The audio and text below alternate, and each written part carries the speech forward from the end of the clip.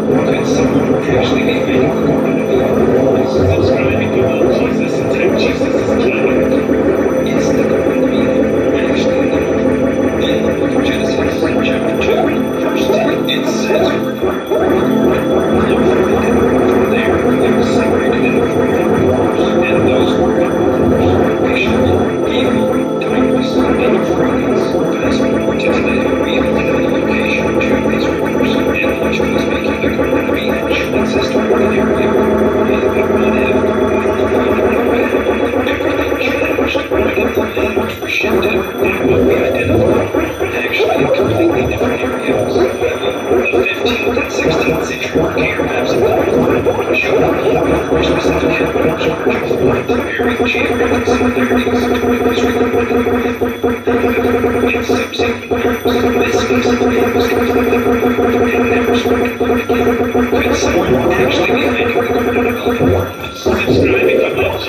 Jesus is Genesis chapter 2, verse 10, it says, From there they were separated into four headquarters, and those four headquarters were Meshach, Elam, Titus, and Freelance, as permitted in the location to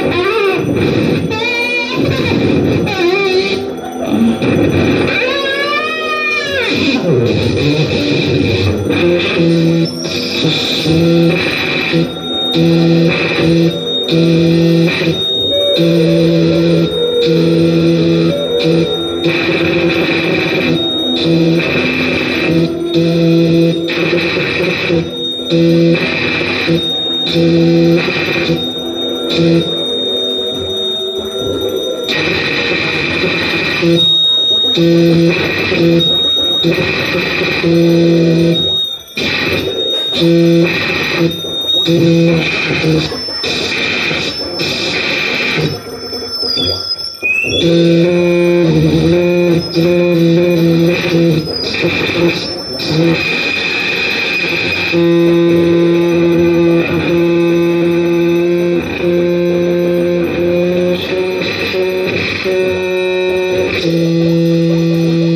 to